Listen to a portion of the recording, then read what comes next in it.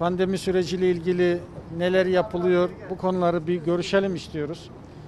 Sizler aracılığıyla hep vatandaşlarımızdan taleplerimiz oldu, isteklerimiz oldu.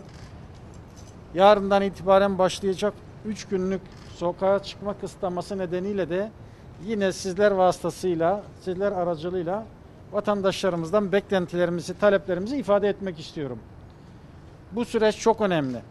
Özellikle görevli arkadaşlarımızın, yetkili arkadaşlarımızın, bilim insanlarımızın söylemiş olduğu şey iki gün ve üç gün ortaya konan bu kısıtlamalara riayet edildiği takdirde bunlardan çok güzel sonuçlar elde ediyoruz.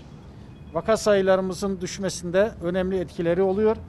Dolayısıyla hastanelerimizdeki yoğun bakım yataklarındaki yoğunluğun pandemi servisindeki yoğunlukların azalması için bizlere çok önemli katkılar sunuyor. Bu fırsatı iyi değerlendirelim. Bu önümüzdeki 3 gün boyunca lütfen kısıtlama tedbirlerine harfiyen uyalım. Bizler hep ifade ediyoruz. Üretimin devam etmesi ve de serbest meslek sahibi vatandaşlarımızın görevlerini, işlerini devam ettirebilmeleri için kendilerine muafiyet getirdik. Bu muafiyeti de lütfen uygun ve doğru bir şekilde kullanalım. Aldığımız bu muafiyet belgeleri amacı dışında da lütfen kullanmayalım. İşimizi gördükten sonra da lütfen evimize dönelim. Biz eğer bu kısıtlamalarda ortaya konan tedbirlere uymaz isek her zaman ifade ettiğimiz gibi yeni kısıtlamalarla karşı karşıya kalacağız. Hiç kimse bu duruma gelmemizi istemez. Bunun için üzerimize düşeni yapmamız lazım. Özellikle az önce arkadaşlarla da konuşurken iftar saatlerinde bir yoğunluğun olduğunu ifade etti arkadaşlarımız. Bu da şunu gösteriyor. Yine iftar saatinde eş, dost, komşu, akraba ilişkileri yoğun bir şekilde yaşanıyor. Bunlar çok doğru şeyler değil. Bu saatlerde, bu saatlerdeki yoğunluk bir araya gelmenin işaretidir. Bir araya gelmeler de riskin arttığı anlamını taşır. Bu birliktelikleri lütfen bir süre erteleyelim diyoruz. Ramazan boyunca toplu iftar programları, komşular arasındaki toplu iftarlar, apartmanların, sitelerin ortak alanlarında bir araya gelmeler, efendime söyleyeyim çay ve benzeri birliktelikler bizlere sıkıntı yaratıyor. Hastanelerimizin yükünü arttırıyor. Bunlarla mücadelede arkadaşlarımız kararlı bir şekilde çalışmalarına devam ediyor.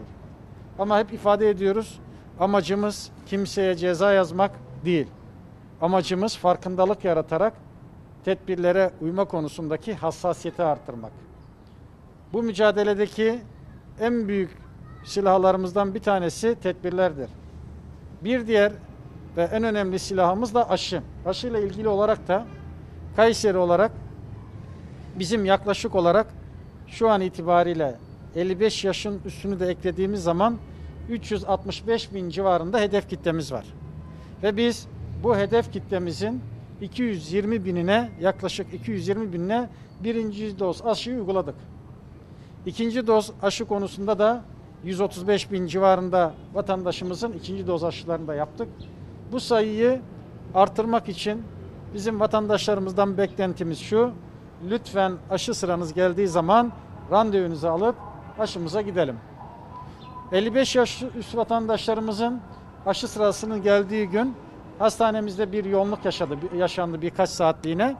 Onun nedeni de tabii ki randevu alınacağını bilmeyen vatandaşlarımızın randevusuz olarak hastaneye gelmeleriydi. Buradan bütün vatandaşlarımıza sesleniyorum. Lütfen aşımız için randevumuzu alalım. Randevu aldığınız zaman saat kaçta hastanede olmanız gerektiği sizlere bildiriliyor.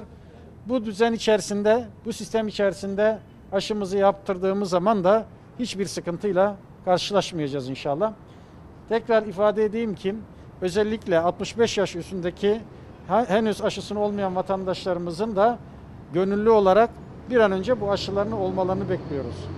Çünkü bu aşıların yapılması toplumsal bağışıklığının artması yönünde bize çok büyük katkı sağlayacak. Toplumsal bağışıklığın arttığı durumlarda da pandemiyle mücadelemizde güçlü hale geleceğiz. Bu mücadeleden elimiz güçlenecek ve yoğun bakımlardaki e, doluluk oranımızda, pandemi servislerindeki doluluk oranlarımızda da e, azalmalar başlayacak. Biz bunları net görüyoruz şu anda.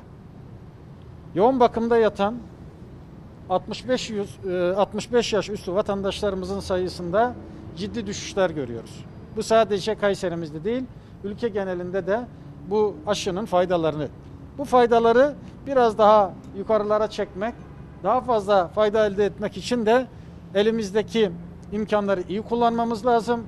Aşı sırası gelen bütün vatandaşlarımızın da hassasiyette ve bu çağrılara da kulak vererek lütfen aşı merkezlerimize giderek aşı olmalarını e, bekliyoruz. Bu bir vatandaşlık görevidir. Bunun için bir zorlama yok ama ama aşıyı yapmak hem kendi sağlığımız açısından hem sevdiklerimiz açısından hem de toplum sağlığı açısından son derece önem arz ediyor arkadaşlar. Bu beklentimizi bir kez daha ifade ediyorum. Sizlere tekrar hayırlı Ramazanlar diliyorum ve yarın idrak edeceğimiz, kutlayacağımız Gazi Mustafa Kemal Atatürk'ün çocuklarımıza armağan ettiği Ulusal Egemenlik ve Çocuk Bayramı'nı da şimdiden tebrik ediyorum. Hepinize de iyi görevler diliyorum arkadaşlar.